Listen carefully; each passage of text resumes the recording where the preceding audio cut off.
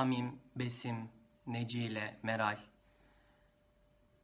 Mefaret eee, ve Renginaz gibi birçok ismin geçtiği ve şu anda belki de bazı isimlerin kullanılmadığı Yalnızız romanını sizlerle paylaşmak istiyorum arkadaşlar. İlk olarak ben bu kitabı lise yıllarımda okudum. Kitabın içerisinde Samim'in de bazı yerlerde sürekli söylediği gibi çeyrek asır Necile, Necile ile tanışmasını çeyrek asır olarak nitelendiriyor. Ben yaklaşık tam çeyrek asır yani 25 yıl önce bu kitabı okudum. Lise yıllarıma rastlıyor bu kitabı okumam. Nasıl tanıştım? Ee, Ortaokul ve lise yıllarımda hafta sonları amcamın yazıhanesi vardı ve biz kardeşimle oraya gidiyorduk. Ee, amcamın büyük kolu Abdullah abi e, çok okumayı seven ve okuyan birisi. Bize hani okuma aşkını da e, aşılayan insanlardan birisidir kendisi. Onun evdeki kitaplarını getirip iş yerine bir e, kütüphane oluşturdu. Bayağı da çok kalabalık yani epey bir kitabın olduğu bir kütüphane. Ben de meraktan zaman zaman işte gidip e, kitaplara bakıyorum. Hatta merdiven koyup üstteki kitaplara falan bakıyorum. Peyami Safa'nın romanları da üst katlarda olan kitaplardan yani yerini bile dün gibi hatırlıyorum. Bir Mahşer'di, Bir Tereddütün romanı, Sözde Kızlar, e, Yalnızız. Bu kitaplardan birisiydi. Şimdi Yalnızız hacim olarak diğer kitaplara göre daha kalın. O yüzden belki de Yalnızız romanını en son okumayı bıraktım.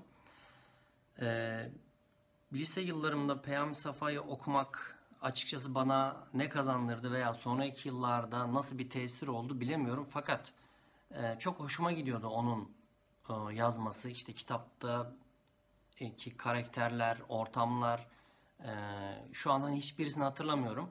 Sadece bir akşamdı romanında bir kelimeyi hocama sor- sormuştum. E, edebiyat hocası Rıza Hoca.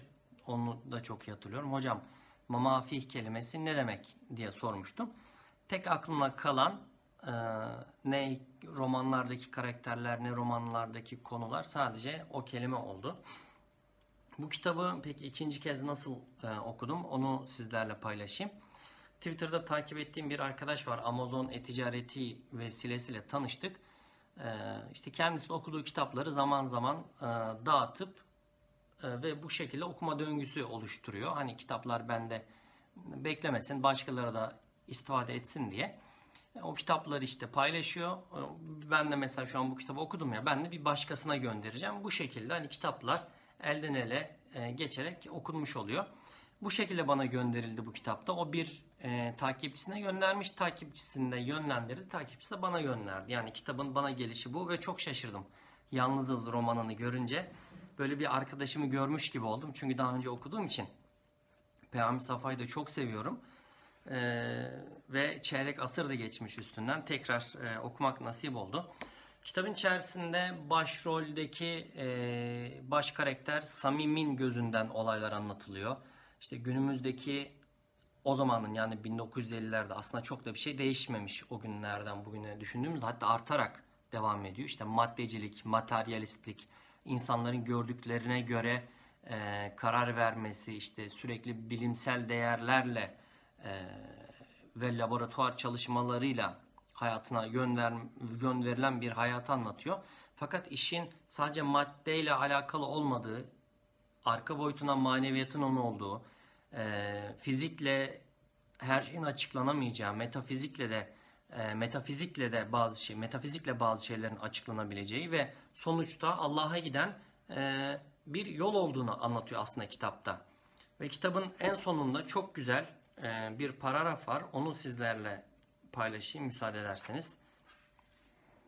E, diyor ki bırak şu maddeyi, boğ şu ölçü dehanı, doy şu fizik ve meta, metafizik tecessüsüne, kov şu kemiyet fikrini, dal kendi içine, koş kendi kendinin peşinden, bul onu, bul kendini, bul ruhunu, bul, sev, bil, an, gör, kendi içinde gör Allah'ını. Kendine dön, kendine bak, kendine gel. Aptalca bir konfor aşkından doğduğu halde her biri daha korkunç bir dünya harbi hazırlayan teknik mucizelerinin yanında senin iç zıtlıklarını elemeye yarayacak, yarayacak ve seni kendi kendine boğuşmaktan kurtaracak ruh mucizelerini ara. inan manevilere ve mukaddeslere inan diye e, kitabı bağlıyor. Kitabın özellikle sonu e, dedim yani konusunu da unutmuşum. E, muhteşem, inanılmaz bir e, sürprizle bitiyor. Yani Netflix dizilerini, filmlerini aratmayacak bir e, sonla e, kitap bitiriliyor. Kitabın içerisinde insanın kendi içerisinde anlam arayışı ve samimin gözünden Simerenya denilen bir e, ülke. O ülkede e, huzur var, insanların e, istediklerini yapabilecek özgürlük. Fakat bu özgürlük şöyle bir özgürlük. İstidat ve kabiliyetleriniz neyse ona göre e, çalıştığınız, bir şeyleri öğrenebildiğiniz, musikinin, sanatın olduğu bir Simeranya var. Ve e, toplumdaki tahlil, insan tahlillerini yaparak orada bu insanların olmadığını, birbirini seven, birbirine saygı duyan veya nasıl bir şey olması gerektiğini anlattığı Simerenya denilen de bir ülkesi var. Samiminin gözünden toplumdaki e, problemleri o şekilde yansıtarak e, çözdüğü bir ülke hayali var Peyami Safa'nın da. Baştan sona hiç bitmeyecek bir tempoyla yazılmış. Şimdi e, eski yazı diyorlar veya Osmanlıca diyorlar. Aslında bunlar eskimeyen şeyler. Çünkü bizim kültürümüz. Bize unutturulmuş bunlar. Eskimiş değil bunlar. Unutturulmuş. Şimdi kitabın içerisinde pek çok kelime geçiyor. Ötüken Neşriyat da bunu şu şekilde aslında dokunmadan e, bu kitabı basmış. Kendilerine çok teşekkür ediyorum. Şimdi günümüzde ne diyorlar? İşte güncel kelimelerle veya e, sadeleştirilmiş. Ya neyi sadeleştiriyorsun? Zaten sade bu dil. Zaten e, insanlar birkaç kelimeyle kendisini anlatır haldeyken sen iyice bizim kültürümüzü ve kelimelerimizi unutturmaya çalışıyorsun. Ben bu yayın evlerini kesinlikle tasvip etmiyorum ve böyle yapmalarına yanlış buluyorum. Mesela Ötüken Neşriyat ne yapmış? Kitabın içerisinde geçen e, günümüzde anlaşılması zor olduğunu düşündüğü bazı kelimeleri 7-8 sayfada kitabın arkasına şu şekilde sözlük koymuş. E isteyen buraya bakar. Örnek veriyorum müsavi ne demek? E şimdi aslında bilinmeyen bir kelime değil ama anlamını e, okumak isteyenler için hemen açacak buradan bakacak. Müsavi eşit denk e, gibi e, kelimeler anlamlarına buradan bakacak ve kitabın orijinalliğine bozmayacak, dokunmayacak. Ne demek sadeleştirme? Ondan sonra da dar düşünen, hayal gücü kısır insanlar oluşuyor. Yani bırak dokunma yani insanın dağarcığına yeni bir kelime girsin. Ee, bu şekilde e, kitabı okudum, bitirdim. Ee, şimdi benim hoşuma giden sizin hoşunuza gitmeyebilir. Sonuçta ben burada sevdiğim veya okuduğum kitapları paylaşıyorum. Kitabın konusuna de, e, olay örgüsüne değinmek istemiyorum. Özellikle son kısmı inanılmaz sürpriz bir şekilde bitiyor. Yani gerçekten e, ben bile şaşırdım. Burada şuna değiniyor yine son kısımlarda. O olayın örgüsü e, bağlayan kısımda telekinezi ve telepatik şeylerden bahsediyor. Özellikle bu telepatide bir örnek vererek videomu sonlandırmak istiyorum. Yani telepati şu buradaki yine sözlükten okuyayım arkadaşlar size. Uzaklardaki bir olayı oluşu anına duyma hali.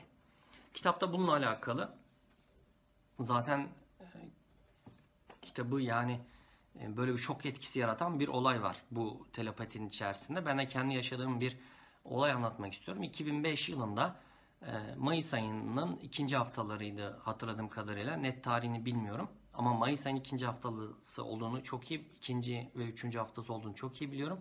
Aslında sorabilirdim de arayıp sormadım şu anda. Londra'dayken böyle akşam vakiti ikindi ile akşam arasında inanılmaz bir şekilde karnım ağrımaya başladı.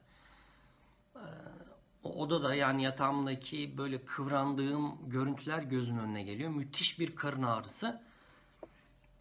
Birkaç saat sonra işte e, kendime geldim. E, ertesi gün veya bir sonraki gün memleket aradı, e, memleketimi aradım veya onlar beni aradı tam bilmiyorum. Konuştuğumda o akşam ikinci yeğenim e, doğduğunu öğrendim. Yani ben orada karın ağrısı çekerken ablam da orada doğum sancısı çekiyormuş. E, bunu e, hayatımdaki herhalde e, anlatabileceğim bu telepatiyle çünkü direkt bu olayı anlatırken aklıma bu olay geldi.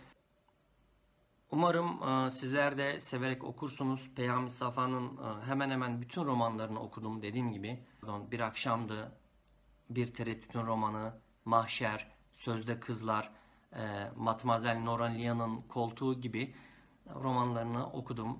E, Artık ömür vefa ederse bir çeyrek asır sonra tekrar okumak nasip olur mu? Tekrar hayatta olur muyuz bilemiyorum.